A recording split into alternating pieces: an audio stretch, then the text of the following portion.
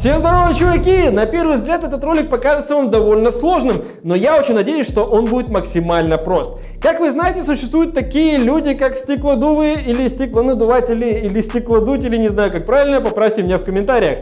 Но я знаю, что они разогревают стекло до определенных температур, оно становится очень жидким, и они из него делают какие-либо различные фигуры, либо наносят его на какую-то там трубку, дуют в нее, и тем самым получается какая-нибудь интересная ваза или еще какой-нибудь крутой предмет предмет типа бутылки.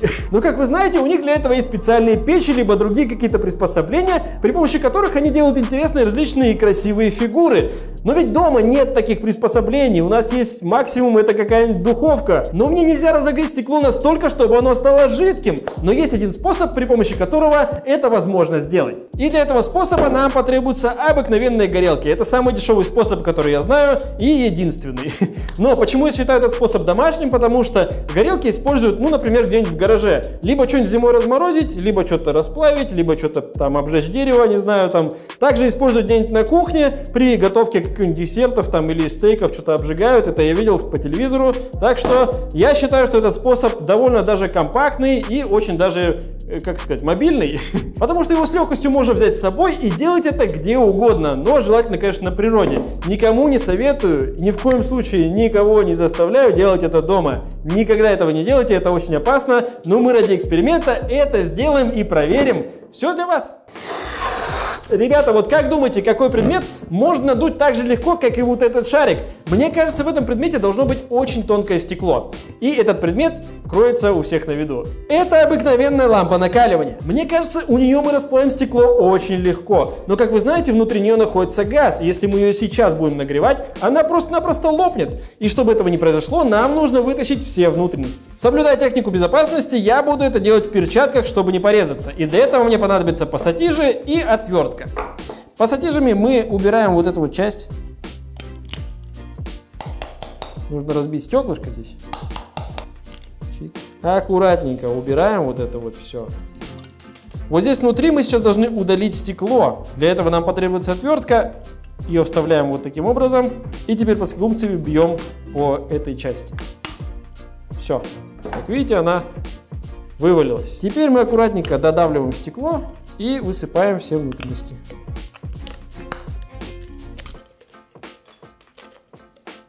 Готово! Смотрите, идеально чистая лампочка. Как мы знаем, у стеклодувов есть специальная трубка, при помощи которой они надувают стекло. И у нас есть тоже, ну не такая же трубка, но какая-то металлическая у нас есть, для того, чтобы она не расплавилась. Сейчас соединяем лампочку с трубкой при помощи изоленты.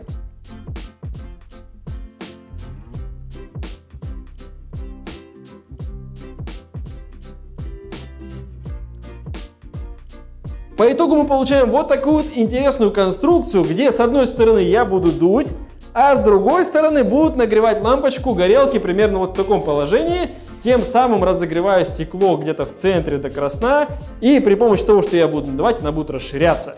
Ну, я надеюсь, это будет как-то так работать. Давайте проверим это на практике. Как вы можете заметить, наши горелки немножко разные, потому что одна смотрит куда-то вверх, другая куда-то в бок, поэтому их надо немножко выровнять для того, чтобы они равномерно нагревали лампочку. Для этого мы возьмем вот такую вот деревяшечку, поставим вот сюда вот так вот горелочку, и примерно они будут греть в одной точке одинаково нашу лампочку. Должно все получиться. Ну а сейчас осталось только поджечь горелки и приступать к эксперименту. Погнали! Начинаем! Раз, два, три. О, пошло, что-то пошло.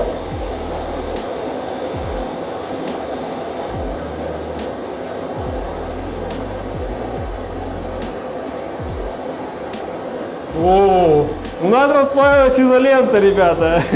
Но посмотрите, лампочка меняла форму.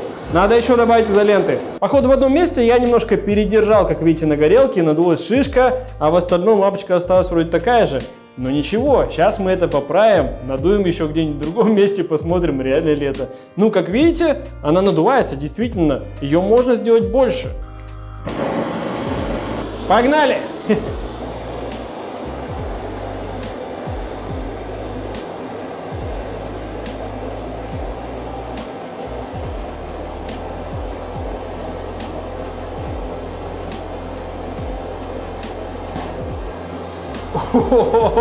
Я, конечно, не профессиональный стеклодув, я делаю это впервые, но вы посмотрите, Получилось довольно-таки прикольно. Это что за неопознанная форма? Вы посмотрите, какое отверстие образовалось тут. Здесь очень острое стекло, очень тонкое. Но в остальном это не похоже ни на что. Реально какой-то и не пришеленец. Но я думаю, что это достойный результат в любом случае, потому что на самом деле получилось надуть лампочку. Ну, как видите, она действительно стала больше. Ну, в каких-то местах, правда, стала шире немножко. Но это все-таки возможно. Единственный вопрос заключается в том, как ее равномерно нагреть, чтобы потом надуть. Ну и естественно, никто не будет пользоваться изолентой, как мы, но у нас кроме изоленты нечего заклеить сюда, и мы не знаем, как ее закрепить по-другому, но в любом случае изолента справилась со своей задачей, лампочка действительно слегка, но надута, ну, а в целом мне нравится, довольно интересный опыт, я скажу. Но давайте перейдем к следующей э, стеклянной тайне. Ну а следующее это вот такая вот у нас бутылка, она примерно чуть раза два, наверное, больше, чем лампочка. Ну и жидкость нам внутри не нужна. И естественно тут стекло гораздо больше, потому что, ну, она для напитка. Поэтому открываем. И теперь нам нужно ее как-то опустошить. Я знаю как. Сейчас нам нужно избавиться от вот этой этикетки, потому что иначе она будет гореть, вонять, и это будет очень неприятно в помещении, поэтому давайте ее уберем. Ну и зачищаем все это растворителем. Главное очищает, это радует. В этом эксперименте я такой посмотрел на эту бутылку и подумал, а что бы не сделать ее гораздо выше? То есть мы можем взять, нагреть вот эту часть бутылки, то есть горлышко, и попытаться ее вытянуть и сделать из нее, например, там не 0,33, как она сейчас, а 0,5. Действительно, получится ли это у нас, сейчас узнаем. Но для начала мы ее приклеим к столу. Клеить мы будем при помощи термоклея, но так как пистолет сломался, мы воспользуемся горелкой.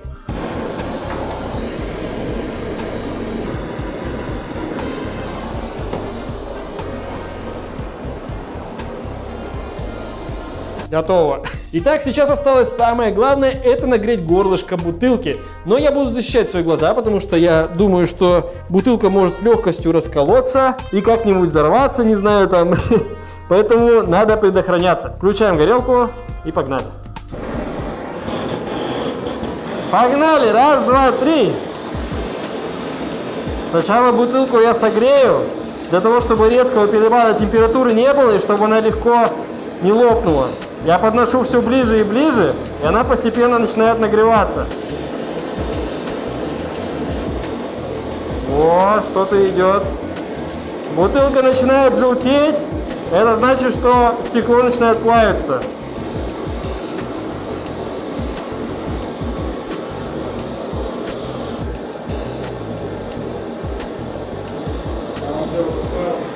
Так, ну вроде бы готово, ребята. Давайте попробуем ее вытянуть наверх. Аккуратненько. Ух ты, она прям жар от нее идет. Давай! Нет, я не могу вытянуть. А, горячо. Но она все еще красная, но она не вытягивается. Ну, давайте еще разочек.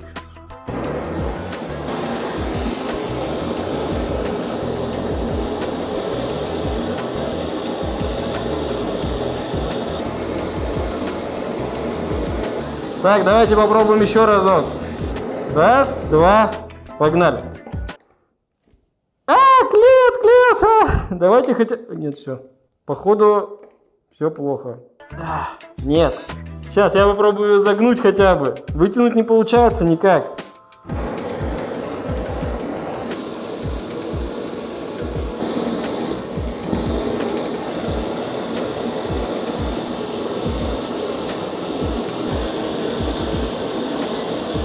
Загибаем. О, получается что-то, ребята. У меня, конечно, не получилось вытянуть горлышко у бутылки, но получилось тоже кое-что не менее интересное. Посмотрите на это. Посмотрите на это горлышко. Что это за необычная бутылка? Э, минус, конечно, такой бутылки в том, что здесь крышку никак не накрутить, но выглядит это довольно-таки странно, согласитесь. Хоть мы и не вытянули горлышко, но получается, что мы все равно придали какую-то необычную форму этой бутылки, и у нас это получилось. Значит, получается, что А, если лампочку можно надуть, эту бутылку можно как-то исказить, не знаю, горлышко как-то у нее согнуть, то, возможно, мы сможем и надуть бутылку. Получается, это возможно. Стекло все-таки гнется, лампочка надувается, почему бы нет? Давайте это попробуем.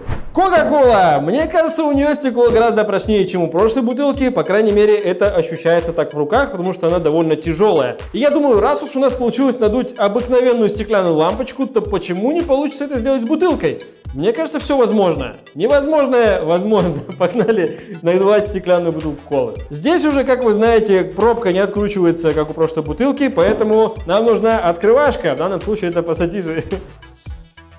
Есть! Готово. Надо ее опустошить, опять же. Все так же снимаем этикетку. И все так же при помощи растворителя снимаем вот это вот остатки клея на бутылке. Кока-кола, молодцы, офигенные бутылки делаете. Я надеюсь, что они надуваются так же легко, как и покупаются. Ну и так же, как и лампочку, мы ее примотаем к этой трубке и будем пытаться надуть. Так. О, она даже встает идеально, слушайте, круто. Это облегчает задачу. Главное изоленты побольше намотать, чтобы она не выпала, эта бутылка. Ну что, ребята, мы подошли к самому главному эксперименту с Кока-Колой. У нас уже горелки все готовы, в принципе, так же, как и с лампочкой, мы их уже установили, но вы до сих пор не подписаны на канал. Ведь вы же видите, как мы стараемся и делаем для вас необычные интересные эксперименты. И чтобы нас поддержать, вам нужна всего лишь пара секунд. Это спуститься под это видео, нажать на красную кнопку подписаться, сделать ее серой, а также влепить лайк этому видеоролику. И прямо сейчас мы начинаем надувать эту бутылку колы. Как вы думаете, получится ли у нас это сделать? Напишите в комментариях, а мы пока запустим горелки и разогреем бутылку. Так. Есть. Где моя маска? Для начала нужно разогреть бутылку.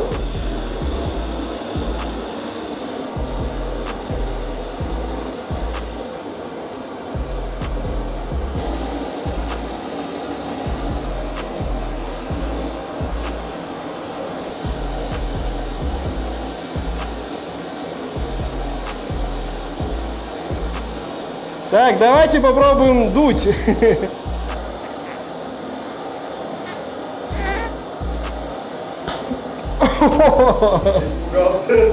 Блин, я думал, она сломалась. О, как это тяжело, вы не представляете. Знаете, я думал, что Надуть бутылку будет гораздо проще. Она сначала начала чернеть, я заметил, потому что внутри осталась карамель. Ой, ну как карамель? Там был сахар, он нагрелся, стал черным, как видите. Слегка получилось надуть бутылку. Посмотрите, вот здесь выпуклость есть. Вот она идет, идет, идет. Потом вот здесь уже образовалась вот такая вот шишка.